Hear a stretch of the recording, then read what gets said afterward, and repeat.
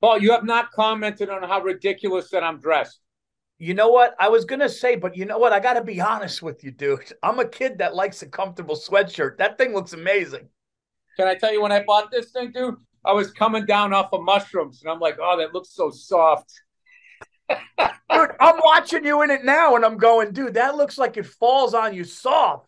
Dude, I'm telling you right now, if I was a younger single man, you walk around something like this, they want to snuggle with you. But that's one for the younger fellas out there. If you got no game, put on some soft clothes. Dude, if I was your girlfriend, I'd sleep in that. There you go. Uh, hundred percent. Hundred percent.